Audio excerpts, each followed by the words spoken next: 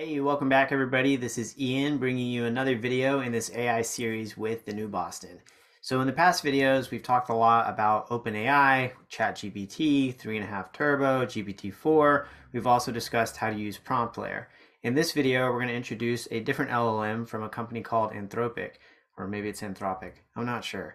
In any event, their LLM or large language model is called Claude 2. In fact, their latest version is 2.1. In this video, we're going to introduce you to Claude 2 with the legacy completion syntax, just so you're familiar with it in case you come across it in a code base or if you're already using it in your own code base. And then in the next video, we'll show you how to migrate to the newer version of the LLM Claude 2.1 using the newer API called the Messages API. So the implementation and usage of this API is really simple. So simple, in fact, that we're going to wire it up into prompt layer right away so that we can, of course, keep track of all of our prompts and their responses. So let's take a look at this code. Let's see what's going on. Let's run it. And then let's check prompt layer to make sure that the tracking is in order. So the first thing to know is that you do have to have an API key for Anthropic. So you're going to go to their website, sign up, get API access, generate that key, and then you're going to export it. And so the value that you're going to export it as is just going to be Anthropic API key with underscores. So Anthropic underscore API underscore key. So set that as an environment variable, however you set up environment variables on your computer or in your project, and point that to your secret key that you get from Anthropic. The next thing we're going to do is inside of our main.py file, we're going to import prompt layer. So then we're going to pull Anthropic from prompt layer. So we say Anthropic is equal to prompt layer.anthropic. Now we're going to generate a client from anthropic.anthropic. You'll notice that the second Anthropic here has a capital A. So make sure that you put that there. And then we're going to invoke this. So open close parentheses. And the result of that, the object that gets returned is going to be our client assigned to our client variable. Now we can do things like access the completions API through this SDK. So we're going to say completion is equal to, and then we're going to use that client, and we're going to call its completions method or object, which has a create method on it. So client.completions.create, and then it's just going to take a handful of arguments here.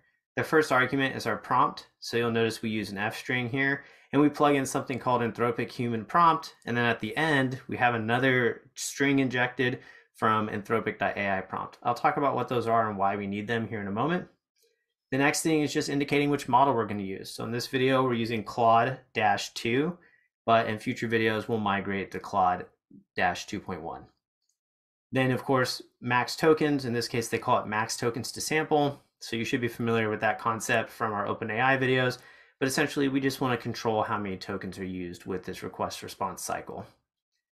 At the end here, we're going to print the whole completion object that comes back. And then we're going to drill down into it a little bit and print the completion.completion .completion object that comes back from that. So let's go ahead and save this file and run our code. So I have my virtual environment activated for this AI Playground project. And I have, of course, all my dependencies installed. We're ready to go to run Python main.py.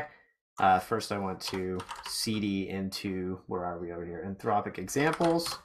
And then the first folder here, 01 basic. So inside of here, I've got main.py. I'm going to run main.py with Python 3. So the prompt was the same one that we used way back in the beginning, weeks and weeks ago, whenever we introduced uh, ChatGPT or OpenAI's GPT API. And that was we just asked which NHL team plays in Pittsburgh. So National Hockey League.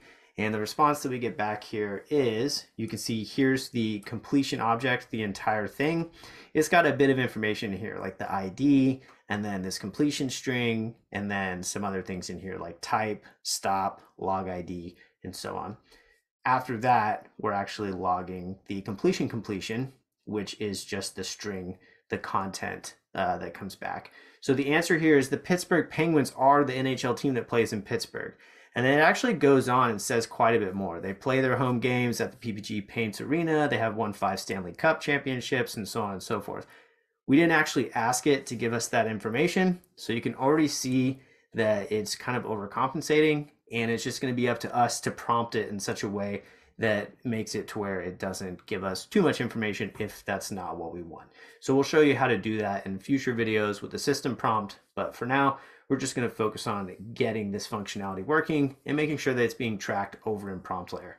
So let's head over to prompt layer and you can see at the top here, I have this brand new history for Claude 2. And if I click on it, you can see that the human prompt was which NHL team which NHL team plays in Pittsburgh and then the assistant response was the one that we just read. You can see our max tokens. We can see how many tokens were used. So it only used 79. And then you can see our cost and our latency here.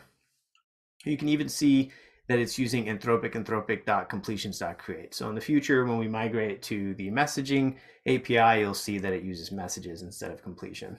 Also, we can see that we're using Claude 2 model. Again, that will change once we migrate to 2.1.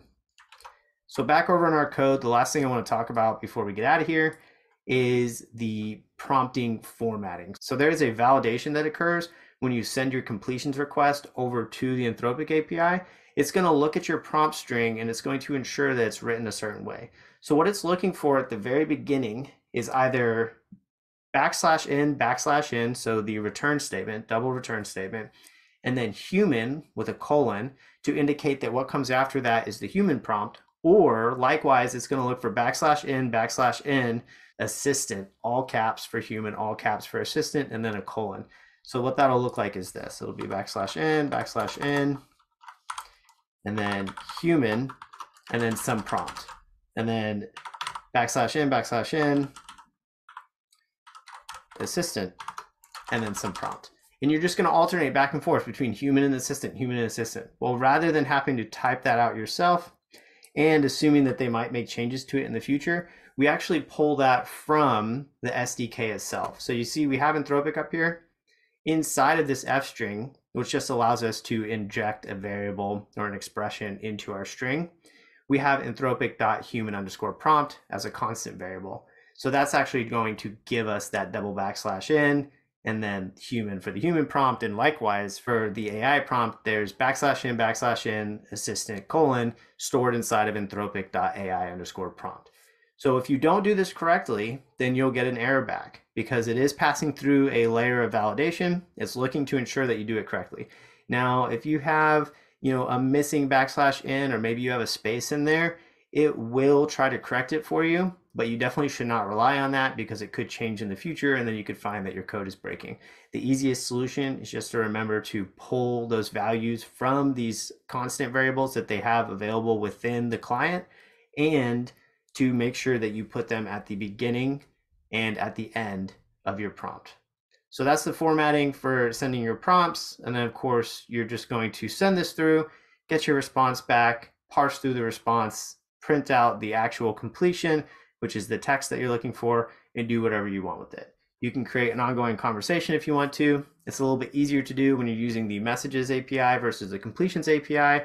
So we'll talk about that in the next video. But for now, what we've talked about is how to get up and running really quickly with Anthropic's Claude 2 API and to link it into prompt layer so that we can track all of our prompts and see whatever data we need about those prompts. Thanks a lot for joining us in this video. Can't wait to see you all in the next one. Until then, peace.